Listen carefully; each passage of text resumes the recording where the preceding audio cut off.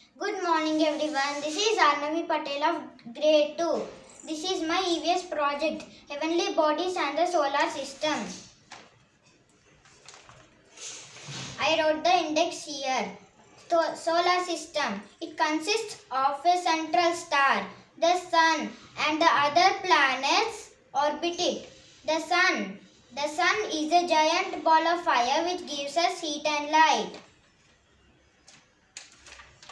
Mercury. Mercury is the nearest planet to the sun. It moves faster than any other planets. Venus.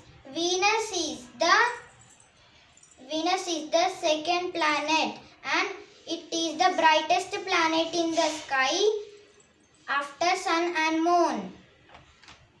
Earth. The earth is the only planet to support life. It is the densest planet.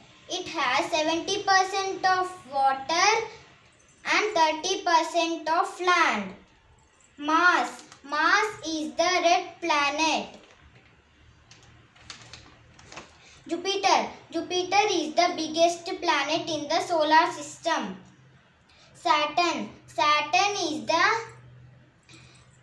biggest planet after Jupiter and it has a giant gas on it. Uranus. Uranus is the coldest planet.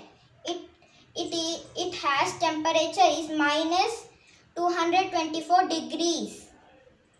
Neptune. Neptune is the last planet and its temperature is minus 218 degrees.